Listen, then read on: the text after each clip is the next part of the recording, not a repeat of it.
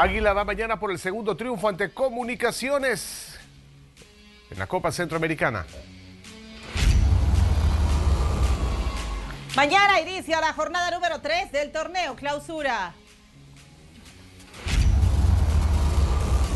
Pep Guardiola sale con éxito de su operación.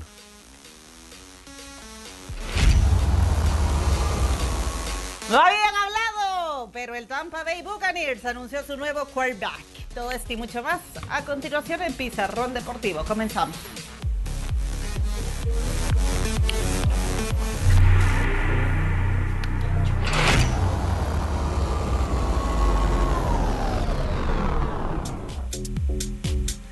¿Qué tal? ¿Cómo están? ¿Cómo les va? Bienvenidos a Pizarrón Deportivo. Qué bueno que nos acompaña junto a Rodríguez, David Capivargas, staff número 2. En una muy ventilada noche de día martes. Zuli, ¿cómo estás? Caluroso el tiempo, está haciendo mucho calor, así que usted también ahí en Ventiscas aquí. Prepárese porque vienen de verdad bastante calor y hay que destacar algo también, hidrátese. ¿verdad? Sí, pues sí, ¿no? Y aquí en el estudio unas ventiscas que se sienten. Yo calor es lo que siento. Sí, hombre, si esto está fuerte. Bien, comencemos. Vamos a platicar, por favor, con el tanto de. Bueno, no, con. Con lo que ha pasado entre Club Deportivo ¿Qué va a FAS, va a pasar? sí, ¿Qué va sí, sí. Bueno, lo que ha pasado es que ya lleva tres goles Jocoro, eh, que va perdiendo. Y FAS no tiene. Gracias. Eh, FAS no tiene jugadores claves para este partido, parte médico del Club Deportivo FAS, eh, que han dado a conocer en redes sociales, se los voy a leer, el parte médico, informamos a la afición, prensa deportiva y al público, el parte médico, luego de realizar pruebas correspondientes a nuestros jugadores lesionados. Eh, Vilma Torres, trauma de rodilla izquierda, tiempo de recuperación dependerá de su evolución. Brian Landaverde, tenosinovitis, del flexor de Halux, del pie izquierdo. Eh, no, esto no es repuesto de carro, esto es el parte, el parte médico de Brian Landaverde.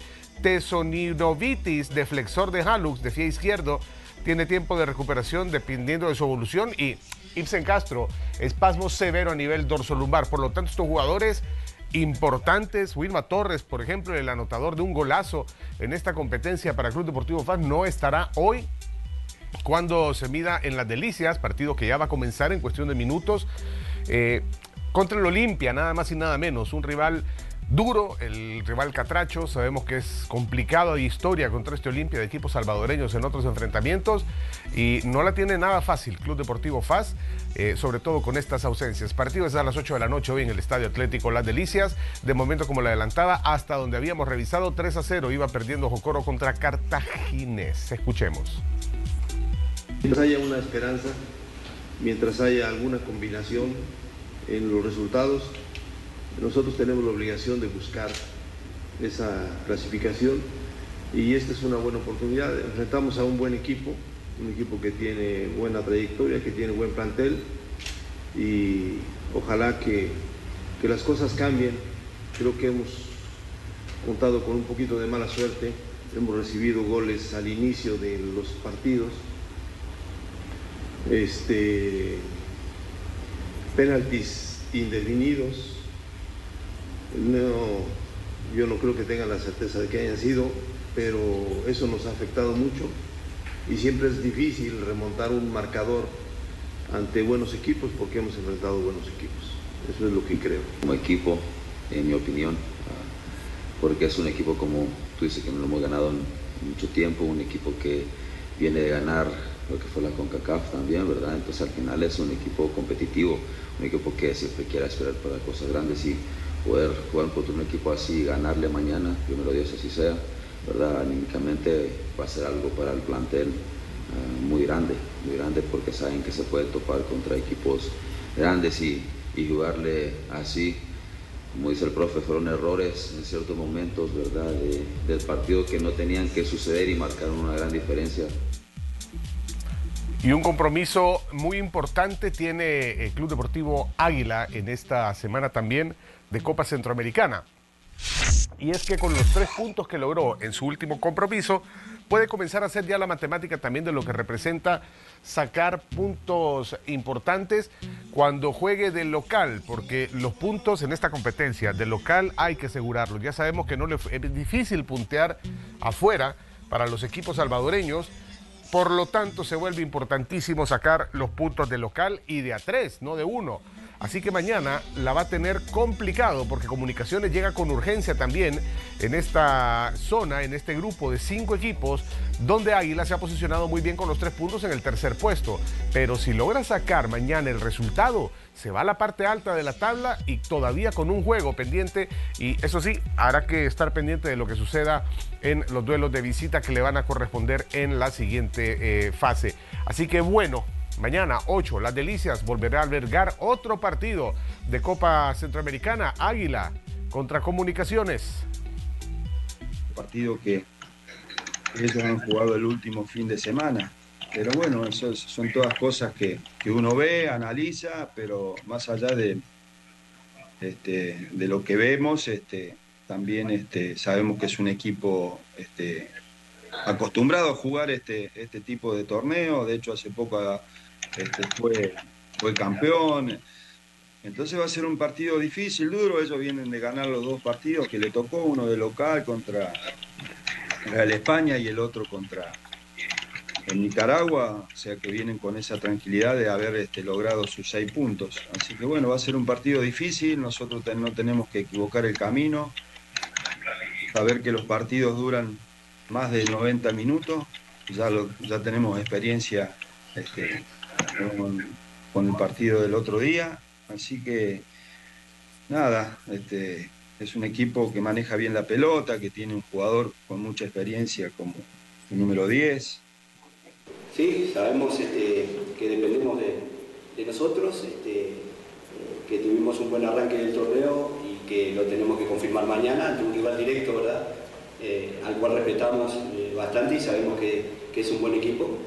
Pero bueno, nosotros tenemos nuestros objetivos y, creo que eh, sumar de tres ya nos da la clasificación y es lo que, lo que vamos a intentar mañana. Eh, sí, en Guatemala hay un par de canchas este, sintéticas, eh, están en buen estado, estamos viendo que las instalaciones están muy bonitas y bueno, creo que va a ser un lindo partido ante, un buen rival. Cementos Progreso, ahora en El Salvador pone a prueba la experiencia de más de 120 años. Con esta información nos vamos a una pausa, pero ya regresamos.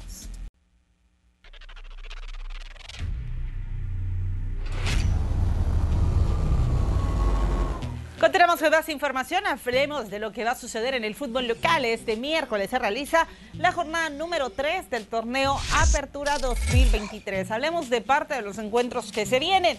El Isidro Metapan se enfrenta a nada más y nada menos que Club Deportivo Dragón el día de mañana. Los mitológicos llegan complicados. ¿Por qué? Porque el equipo solo ha logrado una victoria, fue en la primera jornada y sería ante el equipo de Municipal Limeño por 3 a 1. Sin embargo, viene de ser goleada en el derby migueleño por el equipo negro naranja por Club Deportivo Águila. Y en el Juan Francisco Barraza va a buscar el equipo del Club Deportivo Dragón sacar la victoria frente a un equipo complicado como es el Isidro Metapán que también destaquemos que lleva una victoria y una derrota. La primera derrota fue ante Luis Ángel Firpo por la jornada 1, mientras que su victoria viene de la jornada anterior por 2 a 0 frente al equipo del Santa Tecla.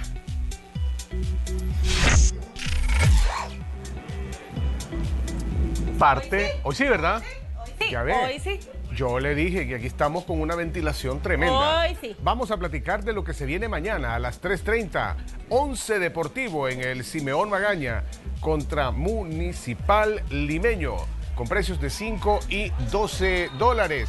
Bien, eh, ¿qué pasa con estos equipos? Hay que recordar que el cuadro del 11 Deportivo viene de sacar un triunfo in extremis eh, para sostener ahí eh, la parte alta de la tabla con seis puntos. Va con marcha perfecta el tanque fronterizo, con dos de dos, dos victorias, mientras que el equipo de Municipal Limeño, Municipal Limeño está ahí con un puntito nada más, complicado, con un empate y una derrota, dos goles a favor, cuatro en contra. Necesidad de parte del Limeño de comenzar a sumar si no se quiere complicar desde temprano en el torneo.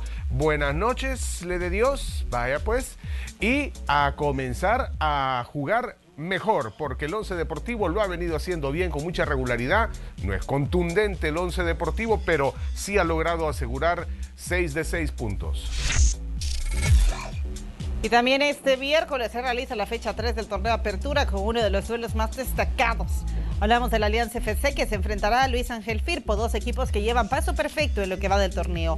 Por el lado de Alianza FC, el equipo de la capital ha logrado dos victorias. La primera fue ante el fuerte San Francisco por la fecha 1 y la segunda ante Club Deportivo Fasto, donde derrotó por 5 a 3 a los Tigrillos.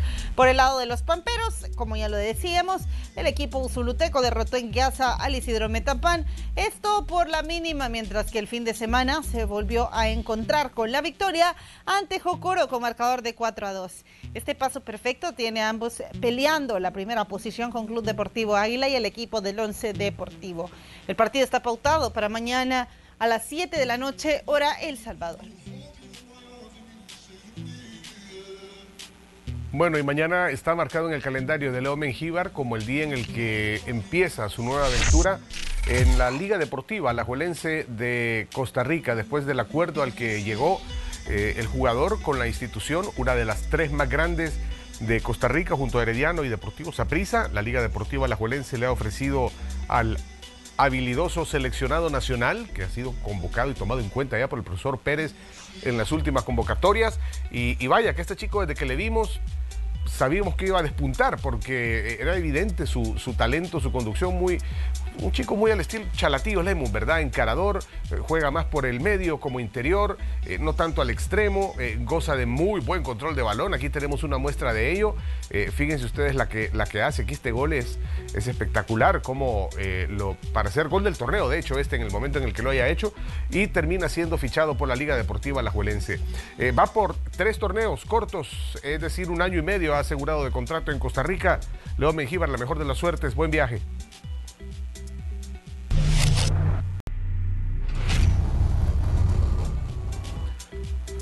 Bueno, y todavía con la polémica del beso a Jennifer Hermoso por parte de Luis Rubiales, el presidente de la primera división, en un gesto que ha sido criticado por algunos, eh, altísimamente criticado, como por ejemplo por el presidente del gobierno español, que públicamente criticó ese gesto y dijo que se merecía algo más que una disculpa por lo que había hecho Rubiales al momento de la imposición de las medallas de oro, después en la euforia pero han salido otros a defender también, como un ex o un dirigente del Bayern München que dijo, bueno, en, ese momento hay euforia, hay alegría y pues ni se piensa. Lo cierto es que eso ha andado ahí rondando y digo, ha andado rondando porque fue parte del discurso de Pedro Sánchez, el presidente del gobierno español, que ha recibido a las campeonas del mundo, a las españolas, las monarcas del fútbol femenil, que por primera vez se coronaron en el Mundial de Australia Nueva Zelanda al vencer 1 por 0 a la selección de Inglaterra. Así que ahí está el reconocimiento del jefe de Estado de España para las campeonas mundiales. Ahora hablemos de otro español, Pep Guardiola, que no va a estar con su equipo el Manchester City durante por lo menos dos partidos de la Premier League. Pep Guardiola, el técnico del Manchester City, se va a perder estos dos próximos encuentros tras someterse a una operación rutinaria en la espalda. Según explicó el Manchester City, el español sufría desde hace bastante tiempo un importante dolor en la espalda, por lo que voló a Barcelona para someterse a una operación de emergencia con la doctora Mireia Ilueca. La operación ha sido un éxito y Pep se va a recuperar y rehabilitar en Barcelona, fue lo que ha dicho el club inglés en un comunicado.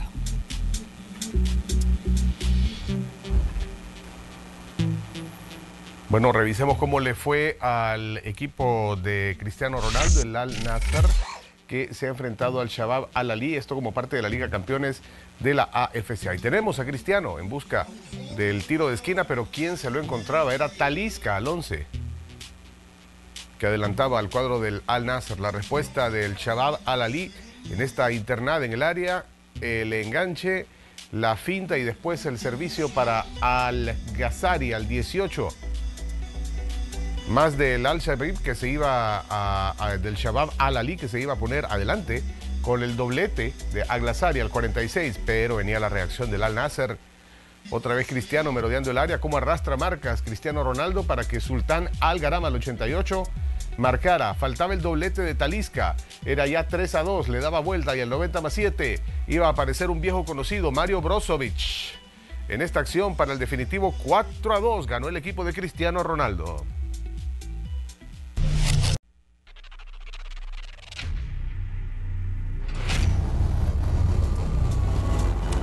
Bien, seguimos con más. Los Tampa Bay Buccaneers se han movido rápido después del anuncio de retiro de Tom Brady para buscar al nuevo Tom Brady, o al menos al nuevo mariscal de campo. Y lo han encontrado, este caballero que ustedes ven en pantalla. Estamos hablando de Baker Mayfield.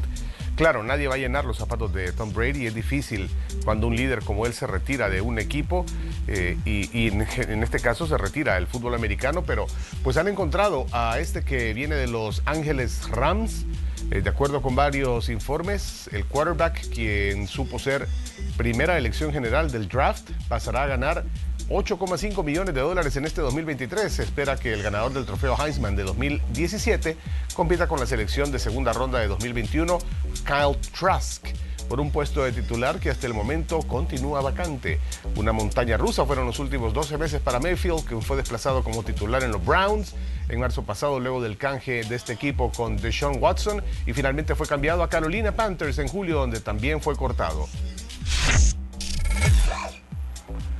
Y bueno, eh, el Mallorca ha hecho oficial que el actual seleccionador de baloncesto de los Estados Unidos y también de los Golden State Warriors, exjugador de los Chicago Bulls, nueve veces ganador de un anillo de la NBA, contando las veces que lo hizo con los Bulls como jugador y como técnico, Steve Kerr, se incorpora al accionario de la entidad balear tras la reestructuración llevada a cabo el pasado 1 de julio y que tiene al frente al presidente y también máximo accionista Andy Kohlberg.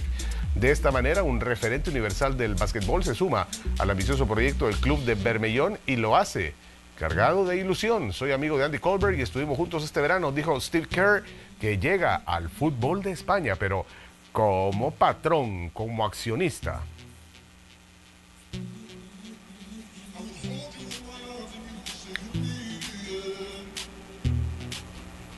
Y bueno, vamos a continuar con más información. Hablemos ahora de Copa Centroamericana. Este día se realizaban dos importantes encuentros.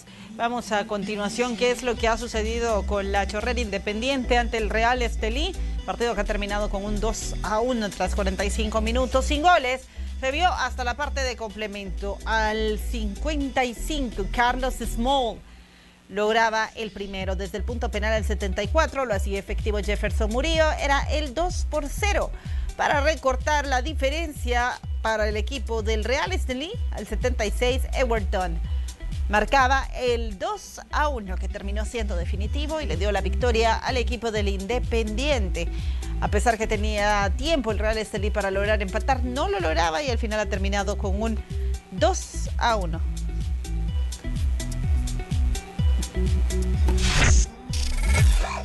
Y el equipo del Jocoro ha terminado con cinco goles a cero frente al cartaginés.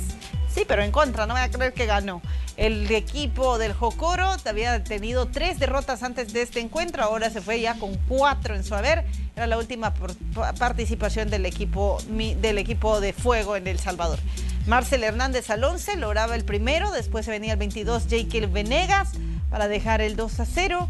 El Jocoro que estaba de visita Iba perdiendo ya por dos goles en la primera parte. En la parte de complemento al 58 Guevara lograba el tercero y Guevara al 74 lograba el cuarto tanto para que sobre lo último el cartaginés anotara el quinto tanto y dejara el 5 por 0 definitivo y de esta manera sin ninguna victoria se despide el equipo del Jocoro de Copa Centroamericana.